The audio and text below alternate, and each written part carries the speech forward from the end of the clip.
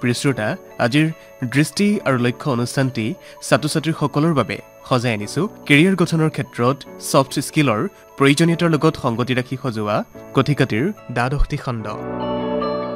আৰু এই কথিকাতি আগবঢ়াইছে ডিব্ৰুগড় বিশ্ববিদ্যালয়ত শেহতীয়াকৈ আৰম্ভ হোৱা ছফ্ট স্কিল ডেভেলপমেণ্ট চেলৰ সমন্বয়ক তথা শিক্ষক হেমচন্দ্ৰ দত্তই। তেখেত লেখক অনুবাদক আৰু সাহিত্য সমালোচক হিচাপেও সুপৰিচিত। তেন্তে প্ৰিয় শ্ৰোতা আহক আৰু পলম নকৰি আজিৰ অনুষ্ঠানৰ মাজলৈ যাওঁ। প্ৰিয় ছাত্ৰ ছাত্ৰীসকল তোমালোকৰ মাজলৈ মই পুনৰ আহিছোঁ। ইয়াৰ আগৰ আলোচনাবোৰত মই ব্ৰিফেণ্ডিং আৰু মাংকি মাইণ্ড মানে আমাৰ যিটো বান্দৰ সদৃশ মন আছে সেই মনটোৰ সৈতে কেনেকৈ বন্ধুত্ব স্থাপন কৰিব পাৰি এই বিষয়ে আলোচনা কৰিছিলোঁ। এই শিতানত মই তোমালোকক ক্ষমা প্ৰেম আৰু কৃতজ্ঞতাৰ কথা ক'লোঁ আৰু লগতে এটা মই মাইণ্ড গেমো শিকালোঁ। তোমালোকৰ নিশ্চয় মনত আছে মই মন সম্পৰ্কেও বহুখিনি কথা কৈছোঁ। ইতিমধ্যে মই তোমালোকৰ মাজৰ পৰা এখন পত্ৰ লাভ কৰিছোঁ। পত্ৰ লেখকৰ নামটো মই ৰাজহুৱা কৰিব বিচৰা নাই। তেওঁ ডিব্ৰুগড় বিশ্ববিদ্যালয়ৰ ছাত্ৰ হয়। তেওঁ লিখিছে ছাৰ আপোনাৰ অনুষ্ঠান শুনি মোৰ বহুত ভাল লাগিছে মই উপকৃত হৈছোঁ। প্ৰায়ে মোৰ মনলৈ নেতিবাচক চিন্তাৰ সোঁত আহি থাকে। আপোনাৰ অনুষ্ঠান শুনাৰ পিছত আপুনি অনুশীলন কৰিবলৈ কোৱা কথাবোৰ অনুশীলন কৰাৰ পিছত মোৰ নেতিবাচক চিন্তাৰ সেই সোঁত লাহে লাহে কমিবলৈ আৰম্ভ কৰিছে।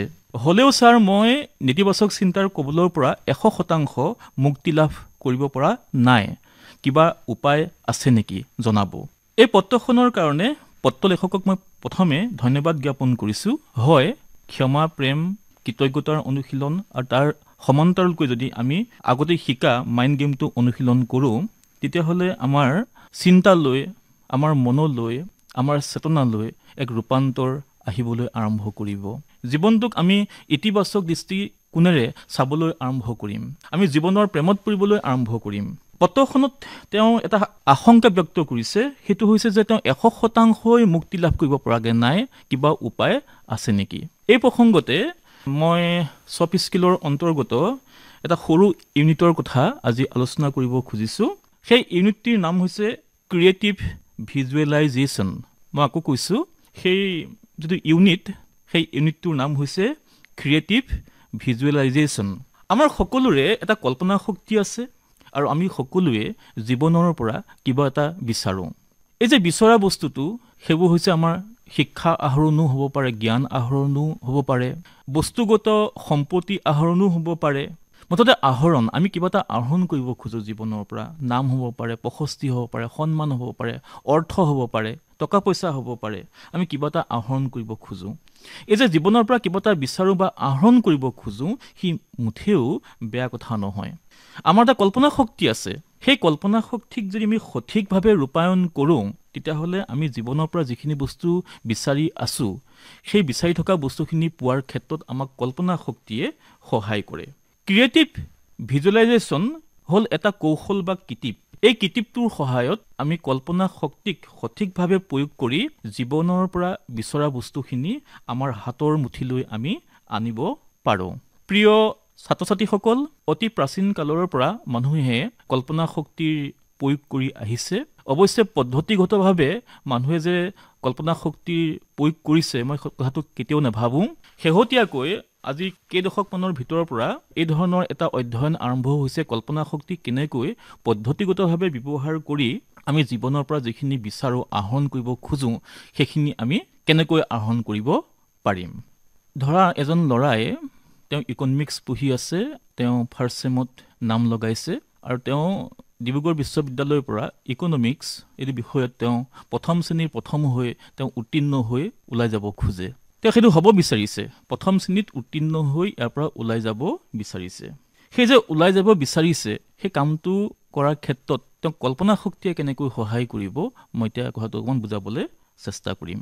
প্ৰথমে সেই ছাত্ৰজনে তেওঁৰ মনৰ ভিতৰত এখন ছবি নিৰ্মাণ কৰিব লাগিব এখন ছবি গঢ়ি তুলিব লাগিব। ছবিখন কেনেকুৱা? যে ডিব্ৰুগড় বিশ্ববিদ্যালয়ৰ পৰা ইকনমিক্স বিষয়ত প্ৰথম শ্ৰেণীৰ প্ৰথম হৈ উত্তীৰ্ণ যেতিয়া মই হ'ম হওঁতে মোক কেনেকুৱা লাগিব নিজকে? প্ৰথম শ্ৰেণীৰ প্ৰথম হৈ উত্তীৰ্ণ হওঁতে মোৰ নিজকে কেনেকুৱা লাগিব? মই কেনেকুৱা অনুভৱ কৰিম? মানুহে মোৰ প্ৰতি কেনেকুৱা ধৰণৰ প্ৰতিক্ৰিয়া প্ৰকাশ কৰিব? মই কেনেকুৱা ধৰণৰ সমাজৰ পৰা প্ৰশস্তি লাভ কৰিম? নিজৰ বিভাগটোতে মোক কেনেকুৱা লাগিব? সেই তেনেকুৱা ধৰণৰ এখন কংক্ৰিট ছবি সুস্পষ্ট ছবি তেওঁ প্ৰথমতে মনৰ ভিতৰত গঢ়ি তুলিব লাগিব যে ডিব্ৰুগড় বিশ্ববিদ্যালয়ৰ পৰা ইকনমিক্স বিষয়টোত প্ৰথম শ্ৰেণীৰ প্ৰথম হৈ উত্তীৰ্ণ হৈ ওলালে মোৰ নিজকে কেনেকুৱা লাগিব কেনেকুৱা অনুভৱ হ'ব সমাজে মোক কেনেকৈ গ্ৰহণ কৰিব? এখন সামগ্ৰিক ছবি। আৰু ছবিখন যিমান পৰিষ্কাৰ কৰি তেওঁ মনৰ ভিতৰত নিৰ্মাণ কৰি ল'ব পাৰে সৃষ্টি কৰি ল'ব পাৰে সিমান ভাল। সেইটো হ'ল প্ৰথম স্তৰ প্ৰথম ষ্টেজ ছেকেণ্ড ষ্টেজত তেওঁ কি কৰিব লাগিব? আমি যে ইয়াৰ আগতে মাইণ্ড গেমটো খেলিছিলোঁ শিকিছিলোঁ সেই মাইণ্ড গেমটোত স্তৰ আছিলে দুটা। প্ৰথম স্তৰত আমি কি কৰিছিলোঁ?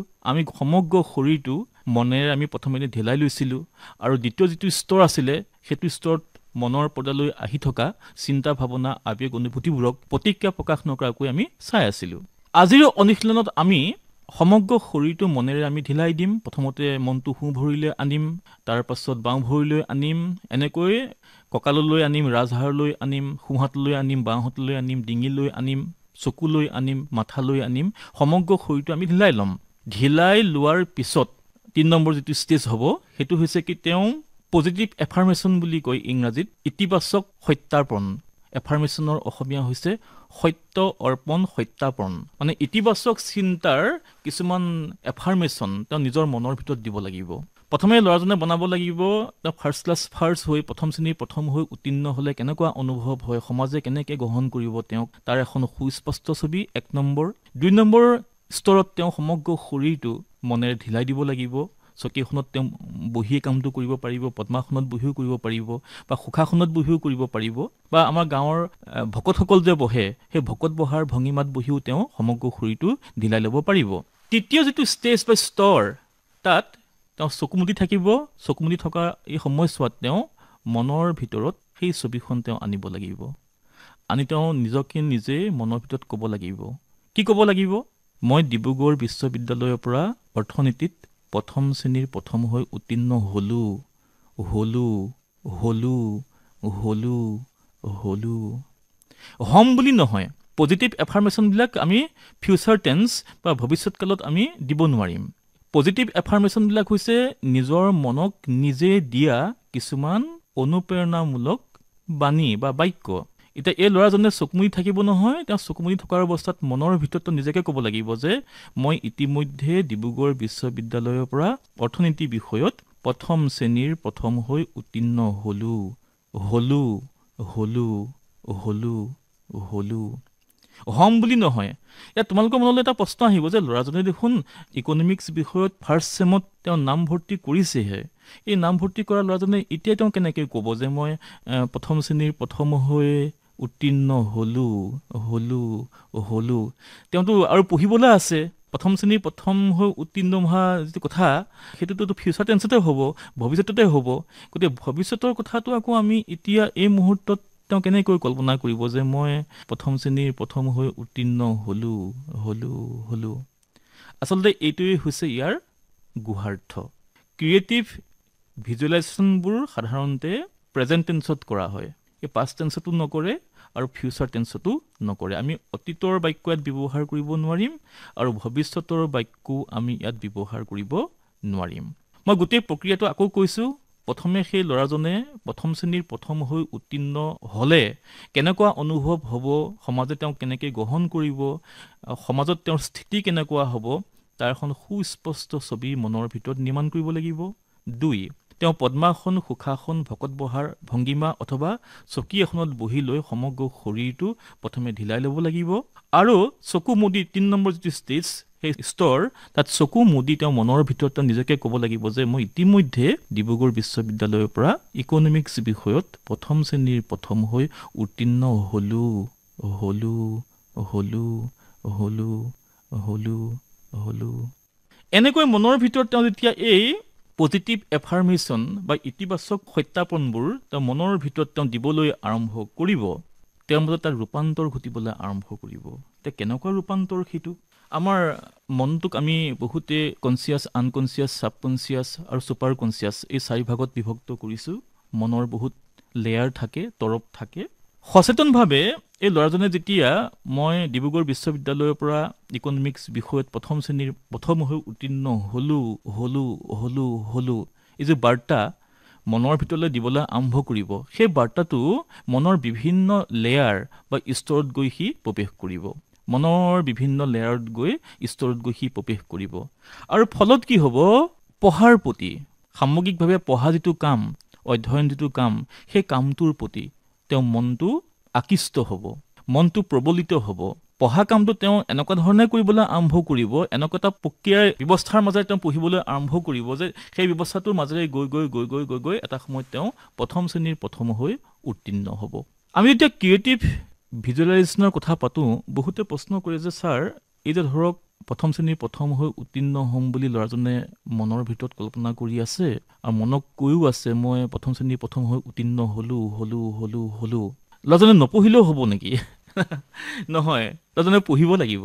ল'ৰাজনে পঢ়িব লাগিব তেওঁ পঢ়া কামটো আগতকৈ অধিক উন্নত স্তৰত তেওঁ কৰিব লাগিব পঢ়া কামটো। আৰু তেওঁ লগতে এই যিটো ক্ৰিয়েটিভ ভিজুৱেলাইজেশ্যন তেওঁ কৰিছে মনৰ ভিতৰত তেওঁ এইখিনি কথাও ক'ব লাগিব যে যদি তেওঁ ধৰা খৰকৈ লিখিব নোৱাৰে তেওঁ খৰকৈ লিখাত সমস্যা আছে তেওঁ প্ৰথমতে তেওঁৰ সমস্যাবোৰ আইডেণ্টিফাই কৰি ল'ব লাগিব যে তেওঁ তিনি ঘণ্টা ভালকৈ লিখিব নোৱাৰে খৰকৈ লিখাৰ ক্ষেত্ৰত তেওঁ অসুবিধা আছে। তাৰ কাৰণেও তেওঁ এখন ছবি নিৰ্মাণ কৰিব লাগিব মনৰ ভিতৰত। ছবিখন কেনেকুৱা হ'ব? যে মই খৰকৈ লিখিব পাৰোঁ মই খৰকৈ লিখিব পাৰোঁ মই খৰকৈ লিখিব পাৰোঁ। তিনি ঘণ্টা সময় মই খৰকৈ লিখি থাকিব পাৰোঁ। তিনি ঘণ্টা সময় মই খৰকৈ লিখি থাকিব পাৰোঁ পাৰোঁ পাৰোঁ পাৰোঁ পাৰোঁ।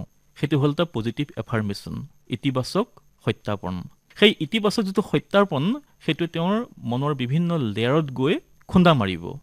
আৰু ইনডাইৰেক্টলি পৰোক্ষভাৱে লিখা কামটোৰ প্ৰতি লিখা কামটো তেওঁ আগতে যেনেকৈ লৈছিল লিখা কামটোৰ প্ৰতি তেওঁ এটা শুভ ভাৱনা আহিব সদিচ্ছা আহিব। তেওঁ বেছিকৈ লিখিবলৈ মন যাব আৰু এটা সময়ত গৈ তেওঁ তিনি ঘণ্টা ধুনীয়াকৈ লিখিব পৰা হ'বগৈ। প্ৰিয় ছাত্ৰ ছাত্ৰীসকল ছাত্ৰজনে মোক প্ৰশ্ন কৰিছিলে যে ছাৰ মোৰ মনলৈ নেতিবাচক চিন্তা আহি থাকে আৰু ইতিমধ্যে মই ক্ষমা প্ৰেম কৃতজ্ঞতাৰ অনুশীলন আৰু আপুনি শিকোৱা মাইণ্ড গেমটো অনুশীলন কৰি মই বহুলাংশে উপকৃত হৈছোঁ। তথাপিও এতিয়াও মোৰ মনলৈ নেতিবাচক চিন্তা আহি থাকে। এই ল'ৰাজনক মই কেইটামান পৰামৰ্শ দিম। পৰামৰ্শকেইটা এনেকুৱা ধৰণৰ তেওঁ মনৰ ভিতৰতে এখন ছবি নিৰ্মাণ কৰিব লাগিব। ছবিখন এনেকুৱা যে মই ইতিবাচক চিন্তাৰ প্ৰতীক। মই এজন ইতিবাচক চিন্তাৰ প্ৰতীক। মই মানুহ হিচাপে ইতিবাচক চিন্তাৰ প্ৰতীক। মই সদায় ইতিবাচক চিন্তা কৰোঁ। মোৰ মনলৈ কেতিয়াও নেতিবাচক চিন্তা নাহে। আৰু যে মই যে ইতিবাচক চিন্তাৰ প্ৰতীক এই কথাখিনি ইতিমধ্যে সকলোৱে গম পাই গৈছে। মই সমাজৰ ভালৰ কাৰণে কাম কৰোঁ। দেশৰ ভালৰ কাৰণে কাম কৰোঁ নিজৰ ভালৰ কাৰণে কাম কৰোঁ ঘৰখনৰ ভালৰ কাৰণে কাম কৰোঁ গাঁওখনৰ ভালৰ কাৰণে কাম কৰোঁ মোৰ অঞ্চলটোৰ ভালৰ কাৰণে কাম কৰোঁ। মই শুভৰ প্ৰতীক মই শুভৰ প্ৰতীক মই শুভৰ প্ৰতীক মই শুভৰ প্ৰতীক। তেওঁ মনৰ ভিতৰত এখন ছবি নিৰ্মাণ কৰিব লাগিব। ছবিখন কেনেকুৱা? মই শুভৰ প্ৰতীক মই ইতিবাচক চিন্তাৰ প্ৰতীক। এই যে মই শুভৰ প্ৰতীক মই ইতিবাচক চিন্তাৰ প্ৰতীক এই ছবিখন নিৰ্মাণ কৰাৰ পিছত এই ছাত্ৰজনে কি কৰিব লাগিব? ছেকেণ্ড যিটো ষ্টেজ সমগ্ৰ শৰীৰটো চকীখনত বহিয়ে হওক পদ্মাসনত বহিয়ে হওক বা সুখাসনত বহিয়ে হওক ঢিলাই ল'ব লাগিব। আৰু তাৰপিছত চকু মুদি তেওঁ মনৰ ভিতৰত এই কথাখিনি ক'ব লাগিব যে মই ইতিবাচক চিন্তাৰ প্ৰতীক ইতিবাচক চিন্তাৰ প্ৰতীক জীৱনটো বৰ মধুৰ। মই মধুৰ চিন্তাৰ প্ৰতীক মই মধুৰ চিন্তাৰ প্ৰতীক মই মধুৰ চিন্তাৰ প্ৰতীক। প্ৰিয় ছাত্ৰ ছাত্ৰীসকল এই যে পজিটিভ এফাৰ্মেশ্যন আমি মনত দিওঁ সদায় মনত ৰাখিবা যে এই পজিটিভ এফাৰ্মেশ্যনবোৰ আমি ফিউচাৰ টেন্সত দিব নোৱাৰিম। এক নম্বৰ কথা। আৰু নেতিবাচক এফাৰ্মেশ্যন আমি দিব নোৱাৰিম। নেতিবাচক কেনেকুৱা? ধৰা মোৰ মনলৈ বেয়া চিন্তা নাহে মোৰ মনলৈ বেয়া চিন্তা নাহে মোৰ মনলৈ বেয়া চিন্তা নাহে এই ধৰণৰ এফাৰ্মেশ্যন আমি দিব নোৱাৰিম। মানে মোৰ মনলৈ বেয়া চিন্তা নাহে এইটো নেতিবাচক কথাটো। গোটেই বাক্যটোৱে হৈছে নেতিবাচক। মোৰ মনলৈ বেয়া চিন্তা নাহে। এইটো সলাই আমি দিব লাগিব। মোৰ মনলৈ ভাল চিন্তা আহে। মোৰ মনলৈ ভাল চিন্তা আহে। মোৰ মনলৈ ভাল চিন্তা আহে। তুমি ক'ব নোৱাৰিবা যে মই নেতিবাচক চিন্তাৰ মানুহ বা নেতিবাচক চিন্তাৰ প্ৰতীক নহ'বলৈ চেষ্টা কৰি আছোঁ। মই নেতিবাচক চিন্তাৰ প্ৰতীক নহ'বলৈ চেষ্টা কৰি আছোঁ। এই বাক্যটো তুমি ক'ব নোৱাৰিবা মনৰ ভিতৰত। তুমি ক'ব লাগিব মই ইতিবাচক চিন্তাৰ প্ৰতীক। মই ইতিবাচক চিন্তাৰ প্ৰতীক। আৰু যিমান পাৰা এই এফাৰ্মেশ্যনবোৰ চুটি চুটি বাক্য হ'ব লাগিব তেনেই চুটি চুটি বাক্য। এতিয়া এই ছাত্ৰজনৰ প্ৰতি মোৰ এটা অনুৰোধ আছে তেওঁ প্ৰথমে এখন ছবি তেওঁৰ মনৰ মাজত নিৰ্মাণ কৰক যে ইতিবাচক চিন্তা মনলৈ আহি থাকিলে তেওঁ নিজকে কেনেকুৱা লাগিব। অনবৰতে যদি তেওঁ মনলৈ ইতিবাচক চিন্তা আহি থাকে তেওঁ নিজকে কেনেকুৱা ৰূপত তেওঁ উপলব্ধি কৰিব পাৰিব? সেই ছবিখন তেওঁ নিৰ্মাণ কৰক মনৰ ভিতৰত। মই অকণমান সহায় কৰি দিছোঁ। তেওঁ এনেকৈ ভাবিব পাৰে যে মই ইতিবাচক চিন্তাৰ প্ৰতীক আৰু মোৰ বন্ধুবৰ্গ মোৰ সহপাঠী মোৰ ওচৰৰ মানুহে বিভিন্ন সময়ত মোক বিচাৰে কি কাৰণে বিচাৰে? মোক এই ইতিবাচক চিন্তাৰ কাৰণে মোক বিচাৰে। মোৰ সান্নিধ্য বিচাৰে। মোক ওচৰত পাব খোজে। কিয় পাব খোজে? মোৰ এই ইতিবাচক চিন্তাৰ কাৰণে। তেওঁ প্ৰথমতে তেনেকুৱা এখন ছবি সুস্পষ্ট ছবি মনতে বনাই লওক। প্ৰিয় ছাত্ৰ ছাত্ৰীসকল এই যে ক্ৰিয়েটিভ ভিজুৱেলাইজেশ্যন এই সম্পৰ্কীয় এখন বৰ ধুনীয়া কিতাপ আছে। মই কিতাপখন তোমালোকক পঢ়িবলৈ অনুৰোধ কৰিছোঁ। কিতাপখনৰ নামটোৱে হৈছে ক্ৰিয়েটিভ ভিজুৱেলাইজেশ্যন লিখিছে শক্তি গাৱাইন নামৰ এগৰাকী লেখিকাই লিখিছে। শক্তি গাৱাইন ক্ৰিয়েটিভ ভিজুৱেলাইজেশ্যন কিতাপখনৰ দাম খুব বেছি নহয় এশ ত্ৰিছ টকা এশ চল্লিছ টকামানত তোমালোকে এমেজন ফ্লিপকাৰ্ট আৰু ইমফিবিমত পাবা। আচলতে ক্ৰিয়েটিভ ভিজুৱেলাইজেশ্যনক লৈ সমগ্ৰ পৃথিৱীতে এক ধৰণৰ প্ৰয়োগশালা আৰম্ভ হৈছে। আমাৰ প্ৰত্যেকৰে কল্পনা শক্তি আছে। সেই কল্পনা শক্তিক যদি আমি সঠিকভাৱে ৰূপায়ণ কৰিব পাৰোঁ ই আমাৰ জীৱনলৈ এক ইতিবাচক ৰূপান্তৰ আনিব। আমি যিখিনি বস্তু জীৱনৰ পৰা পাব খোজোঁ সেই বস্তুখিনি আমি অতি সহজে হাচিল কৰিব পাৰিম। এতিয়া কথাটো হ'ল যে মই চফ্ট স্কিলৰ শিক্ষক। চফ্ট স্কিলৰ লগতনো এই ক্ৰিয়েটিভ ভিজুৱেলাইজেশ্যনৰ কি সম্পৰ্ক আছে? মই ইয়াৰ আগৰ আলোচনাত কৈছোঁ যে চফ্ট স্কিলৰ অন্যতম এটা স্কিল হৈছে লাইফ স্কিল আৰু লাইফ স্কিলৰ অন্তৰ্গত ডিফেণ্ডিং আৰু মাংকি মাইণ্ড এই শিতানত মই আলোচনা কৰি আছিলোঁ। মই লগতে কৈছোঁ যে আচলতে মানুহ হিচাপে আমি বাহ্যিক পৃথিৱীখনক নিয়ন্ত্ৰণ কৰিবলৈ চেষ্টা কৰোঁ। কিন্তু যদিহে আমাৰ মনৰ পৃথিৱীখন নিজৰ আভ্যন্তৰীণ পৃথিৱীখনকে আমি নিয়ন্ত্ৰণ কৰিব নোৱাৰোঁ তেতিয়াহ'লে বাহ্যিক পৃথিৱীখনক নিয়ন্ত্ৰণ কৰাৰ যিটো হেঁপাহ সেই হেঁপাহটো তেনেই অৰ্থহীন। আমি যদি আমাৰ মনলৈ আহি থকা নেতিবাচক চিন্তাবোৰকেই বাধা দিব নোৱাৰোঁ বা নিয়ন্ত্ৰণ কৰিব নাজানো তেতিয়াহ'লে ইতিবাচক চিন্তাৰ বিষয়ে আলোচনা কৰি ভাষণ দি একো লাভ নাই। মোৰ একান্ত বিশ্বাস আমি যদি নিয়মীয়াকৈ ক্ৰিয়েটিভ ভিজুৱেলাইজেশ্যনৰ অনুশীলন কৰোঁ তেতিয়াহ'লে আমাৰ মনলৈ অহা নেতিবাচক চিন্তাবোৰ বন্ধ হ'ব। এই পত্ৰখন লিখাৰ কাৰণে মই ছাত্ৰজনৰ প্ৰতি মোৰ কৃতজ্ঞতা বা ধন্যবাদ জ্ঞাপন কৰিলোঁ। তোমালোকৰ সকলোৰে ভাল হওক। মোৰ অনুষ্ঠান আজি ইমানতে সামৰিছোঁ। ধন্যবাদ।